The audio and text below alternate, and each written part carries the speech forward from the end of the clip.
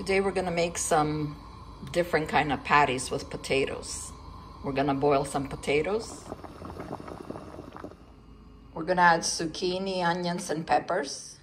I have my potatoes, zucchini, two eggs, up some peppers and onions, and I'm gonna put that in also. Everything is in. Don't forget to strain the zucchini, the water out. Now we're gonna mix everything together and shape them. Put some uh, breadcrumbs out. I have the Italian ones.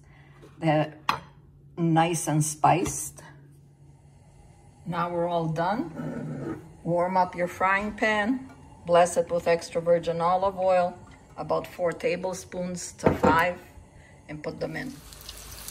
Two to three minutes on each side until they're nice and golden. After two, three minutes, flip them over. Careful. We're all done. I broke one so you can see inside how yummy it is, so enjoy. Always eat it in good health. Don't forget to subscribe and God bless.